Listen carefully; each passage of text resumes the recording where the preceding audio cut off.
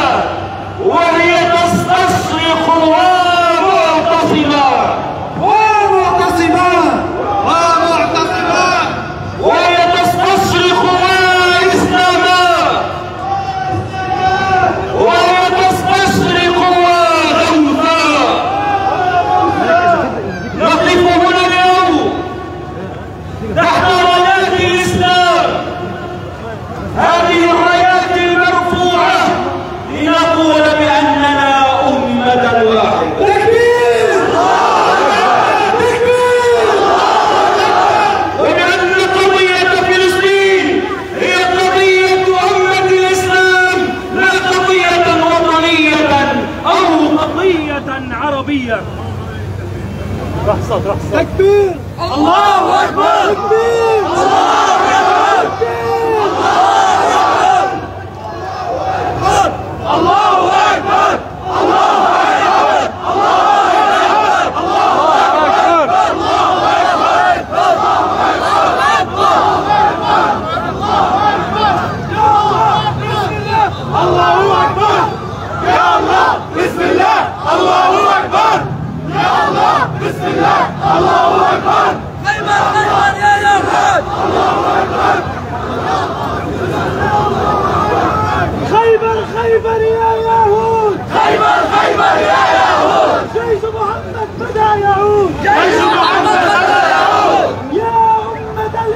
どうもあり。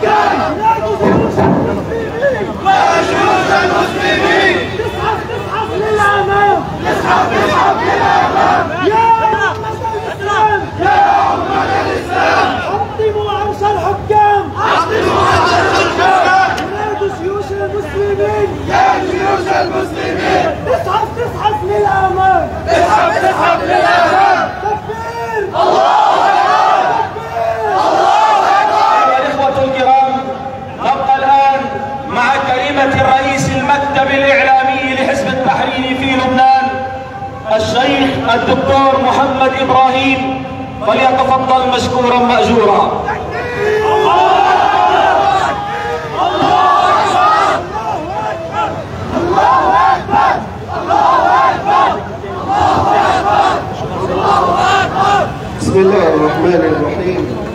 الحمد لله والصلاة والسلام على رسول الله وعلى آله وصحبه ومن والاه. الحمد لله الذي جعلنا من أمة محمد أمة الجهاد. من أعظم أحكام الإسلام. وهو وهو المنادي ينادي في أمة محمد حي على الجهاد.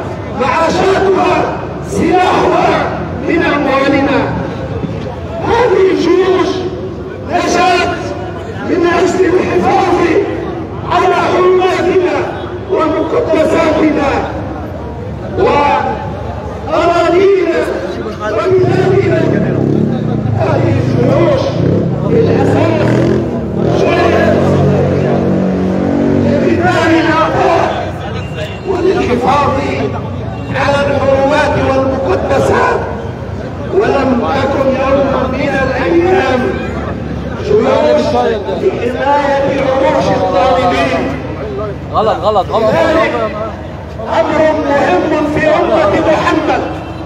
التي انتفضت في كل فرص الارضيه استجابه شوي. لأطفال ونساء. غزه استجابه للمجاهدين في غزة الذين استنصروا الجميع وطلبوا من الجميع أن يقفوا إلى جانبهم. أمة محمد عليه الصلاة والسلام لا تكتفي بالدعاء. الدعاء اخوتي الكرام إذا ما اتصلنا عليه فنأتم وينجي الدعاء الغريب إذا رأيت إنسانا يغرق أمامك.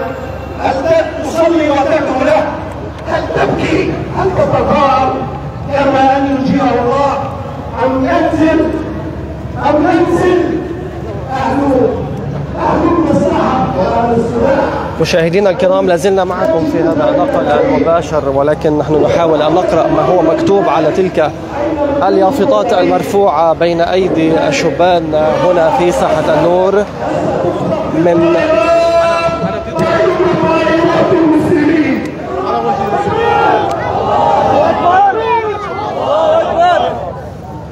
الطائرات في العالم عند الجيش المصري والجيش الاردني والجيش التركي لمن تتخذون هذا السلاح هذا السلاح هذا وقته أيوه أيوه يا يا ابطال الإسلام ابطال طنطاش الضابط التركي الذي قال نحن نبين ما يوم محمدا على الجهاد لا حرينا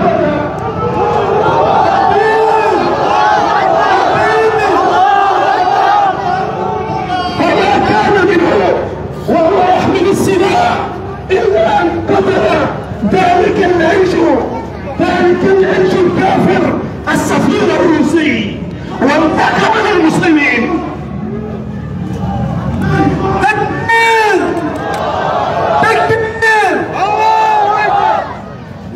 أمثال الأبطال أمثال محمد صلاح الذي نذر نفسه لله وحمل سلاحه وانطلق مجاهدا في سبيل الله من الجيش المصري. واذل يهود وقتل وقتل وجرح العشرات.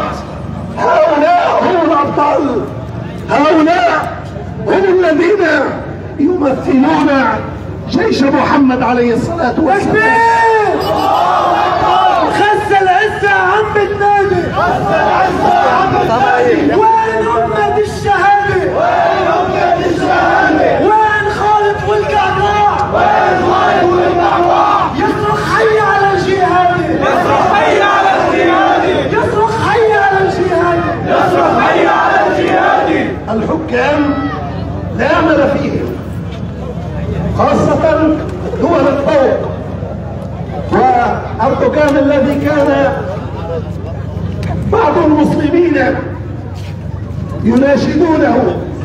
هذا الوقت لإرسال السلاح والطائرات.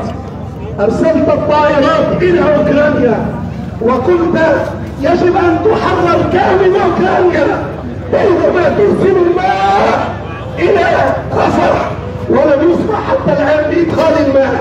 ولديك الطائرات. لماذا لم تعامل أهل غزة كما عاملت الكفار من أهل الصليب؟ إذا كان لديك صدق وشيء الجيش هذا وقت الجهاد. تكبير. هذه الجيوش جيوشنا. ويجب أن نسترد قيادتها وأن نرفع رايه محمد عليه الصلاة والسلام. وأن تكون وأن تكون قوة لنا. لا قوة علينا. لا قوة علينا عرش الملك لا يكون الخائن ولا فرعون مصر ولا سائر الطغاة هذه الجيوش. أنا ارى أن تنتفض على قرارات الطغاة وتنبي غزة واطفال غزة وتفتعل مع المجاهدين في غزة جيوش المسلمين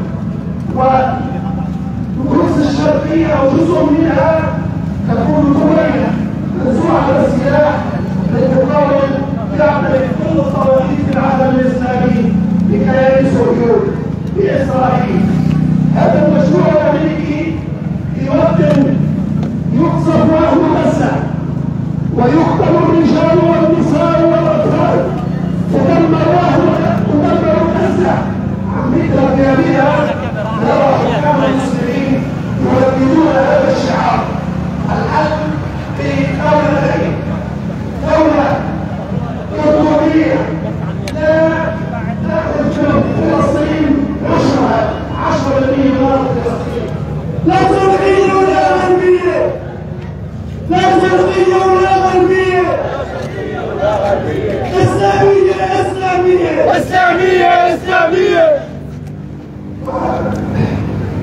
هذا المشروع الذي رتبه المؤتمرون الخارجون في مؤتمر مصر من حل الدولتين والمواقف واطلاق النار لا والله خفيكم لا حول مع اليهود والحكم الشرعي هو الجهاد حتى تحرير كامل فلسطين